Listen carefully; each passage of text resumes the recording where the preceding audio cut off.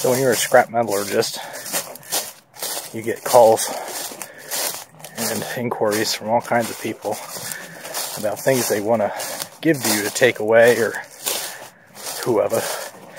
And this is my new, this latest project. I was given a van, or as they refer to it as a bus, Volkswagen, something or other.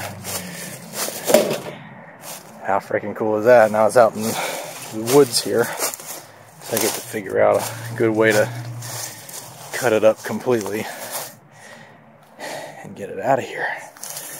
Let me just say, I am stoked. There's an engine back in there. And a battery. That's cool. All kinds of goodies. Oh, trapped. This door is in slightly disrepair. The whole thing's gonna be in disrepair after a bit, but so yeah, I'm pretty pumped. So anyway, I'll be posting more videos as I get things taken apart and everything else. But it's gonna be a fun little project for sure. Got some headlights on it, so that'll give me some gravy. Anyhow, thought I'd share.